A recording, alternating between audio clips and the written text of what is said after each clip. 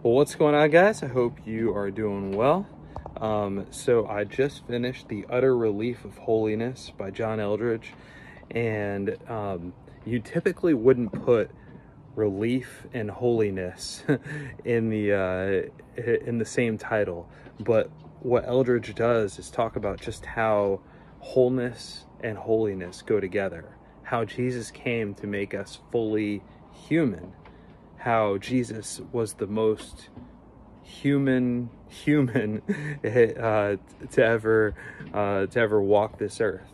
And how as we become more like him we we can actually be truly healed and that holiness isn't this stuffy religious word that means jumping through tons of little hoops and observances, but that holiness goes right along with wholeness, meaning that as we attain holiness, we become healed, we become who we were created to be. So, The Utter Relief of Holiness by John Eldredge, definitely worth checking out.